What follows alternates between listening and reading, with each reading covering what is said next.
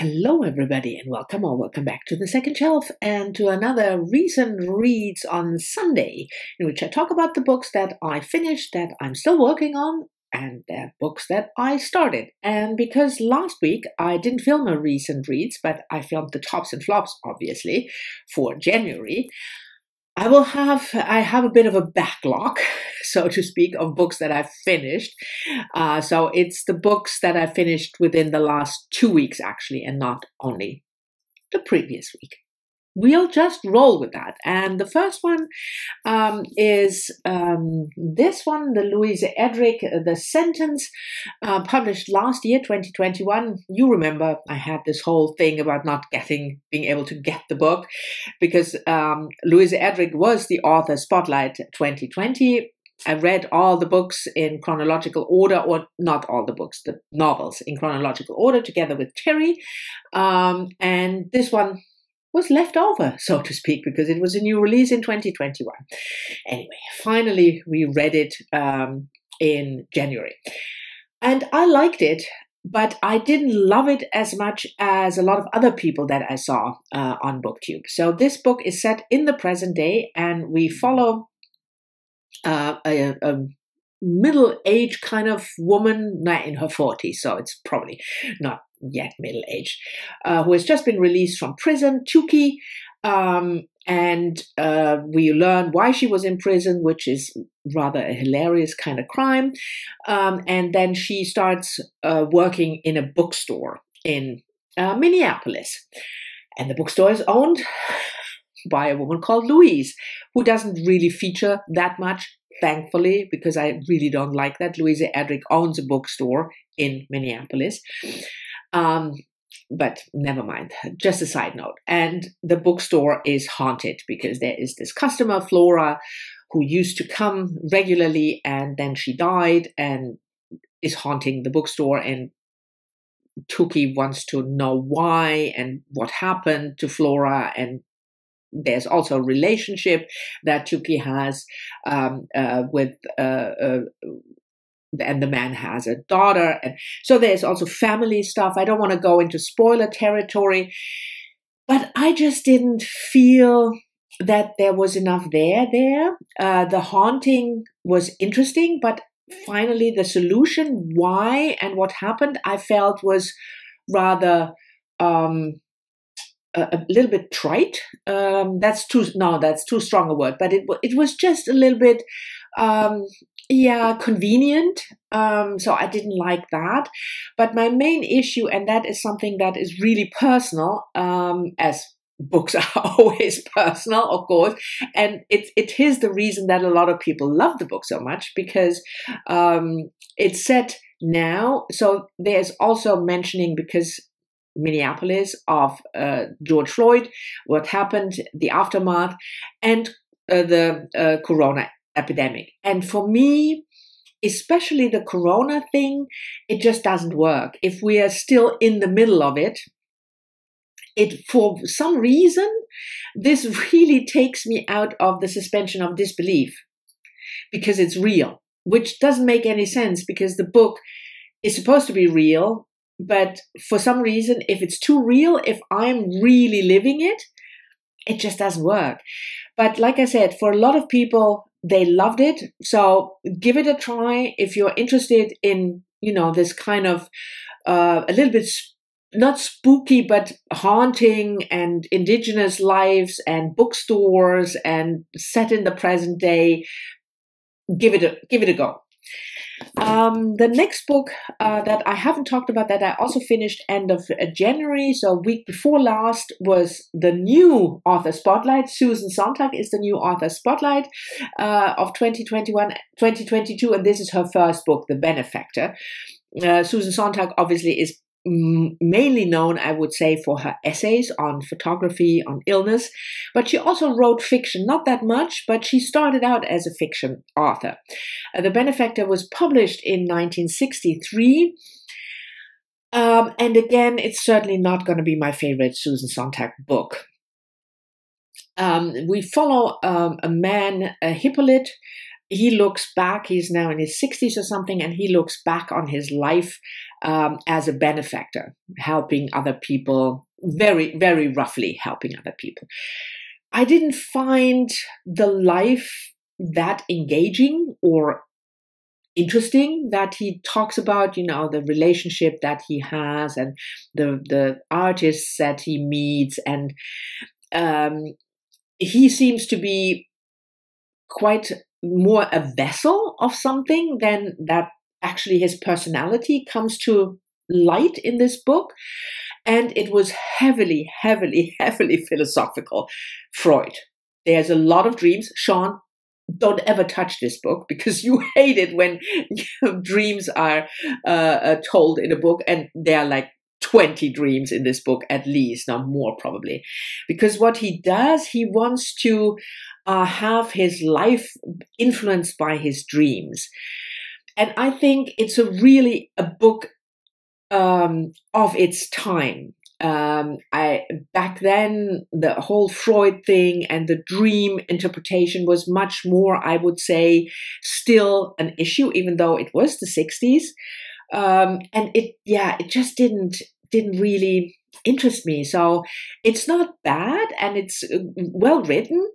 Um, there has some interesting topics, but the story as such uh, just didn't really work for me. And this was, by the way, um, Kim from Middle of the Book March uh, said in the beginning of January that she might want to read this book with me, but she tried a couple of uh, chapters or first 20 pages and it was not for her so we didn't end up buddy reading it and I, I can definitely understand that.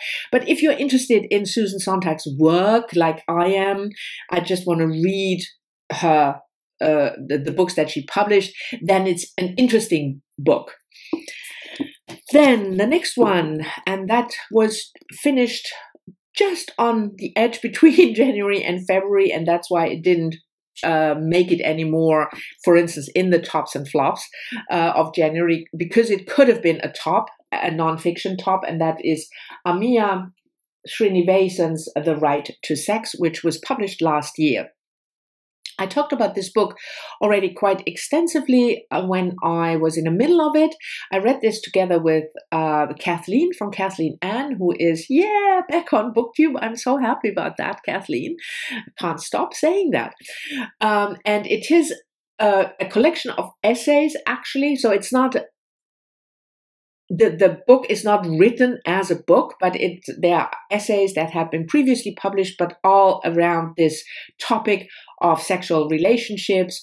It's talking about sexual violence uh, towards women uh, in a feminist. It's a feminist book. I mean, yeah. Uh, but also the right to sex is one the title of one essay where uh, uh, she talks about a couple of uh, rape cases uh, where men um, say that they feel uh, they have, you know, they are uh, uh put down by women who don't want to have sex with them. She also talks about um, other aspects of the sexual relationship.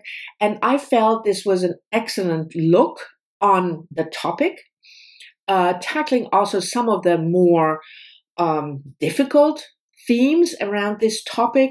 For instance, she extensively talks about uh, whether or not it's important that there are false rape accusations. So she is not afraid of talking about things that for feminists are often difficult to talk about. And uh, I didn't tell you anything about her. She's an um, an English. She works in, in in in the UK as a professor of philosophy, but don't be put off the book is extremely well written. She can make, she can craft an argument really well, but also in a way that it's not, you know, uh, philosophically difficult if you don't have any background in philosophy that it's either boring or difficult. No, not at all. So I, I can, if you're interested in the topic, if you want to read feminist literature, recent feminist literature, this is, I can highly, highly recommend this uh, nonfiction book. And we stay with nonfiction. And the first book that I actually finished in February last week uh, was another.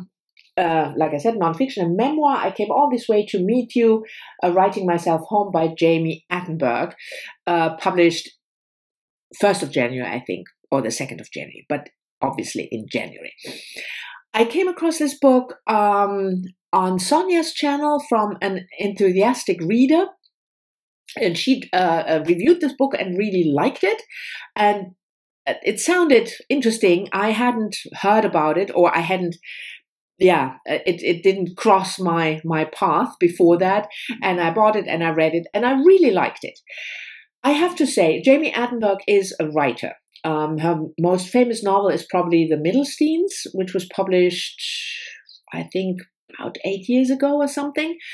Um, I quite liked it, but I didn't love it. And I think I only read one other book by Jami Attenberg. I, I don't think she is my kind of writer. Um, but still, I love books where writers talk about how they came to be the writer that they are. And she had quite an interesting life because she was very um, um, on the move all the time for 20 years. She didn't even own a bed frame, as she said, but only a mattress. Um, and she, you know, she moved to eight different apartments in 20 different states, something like that. And that's a life that is so completely different from mine that I find it interesting to read about.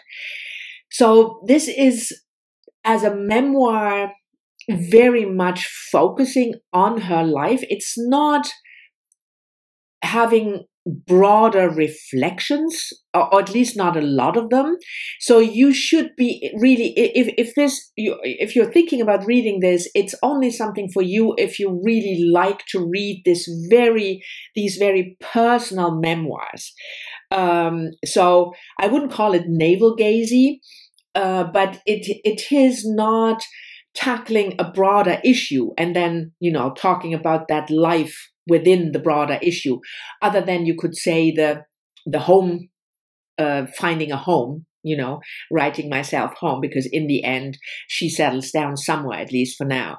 But uh, yeah, I find it really entertaining. It's well writ- was well written, and I have a sweet spot for books about write of by writers about their writing career. So it was a good tip, Sonya. Thank you very much.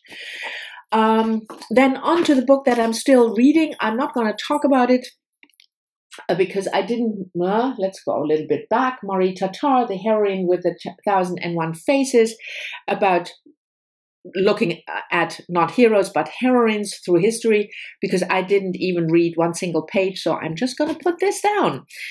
Um, and then I have uh, two books to talk to you about that I've started last week. Uh, the first one is a buddy read. Uh, because it's Black History Month, obviously.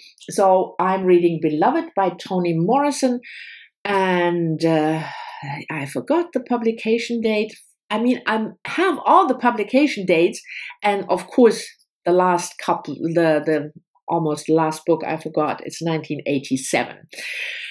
Um, this is one of her most famous books um, about a former slave, Sethe, Seth, uh, S E T H E, and her daughter Denver, um, and the friend slash relationship uh, Paul uh, comes to live with them, and then we learn about their life back when Sethe was still a slave and what happened. She had more children, two of the boys, they left the home after the grandmother uh, died. It's a complicated story. It's not told in any linear fashion. And I, Heidi and I talked about it. Did I say a buddy read with Heidi from my reading life? Probably not, but if I did, I'm going to say it again. It's a buddy read with Heidi from my reading life. Uh, and we talked about the structure of the book because it's quite um, non linear and sometimes it's not obvious where we are. Um, it's a third person omniscient perspective, so we get all kinds of points of views, which doesn't make it easier sometimes. But I felt that the structure really served the book because this shattered life of this woman and her family because of slavery. It has, it's quite violent. Um, so if you are afraid of that, you should look into it whether it's for you uh, but it it's yeah I, I, will see how how i feel about it in the end I, I should warn you. I'm going to put this down now um, uh, because I have to scratch my nose again. Um, that I I'm one of the very few people who is not absolutely in love with Toni Morrison's work. I really liked uh, Song of Solomon. I didn't get along with uh, Sula. I didn't get along with Tar Baby. I didn't get along with Love. I didn't get along with uh, God Help the Child. Um, and that especially had to do with the way uh, women and relationships, their relationships with men were depicted because they are all quite similar. And the women in God Help the Child, for instance, there is an abusive relationship, and then the man leaves, and the whole book is about the woman trying to find her man and get him back the abusive asshole. I I I'm not in for that. So I have I'm not yeah, one of those people who really loved Toni Morrison's work, but Song of Solomon I did.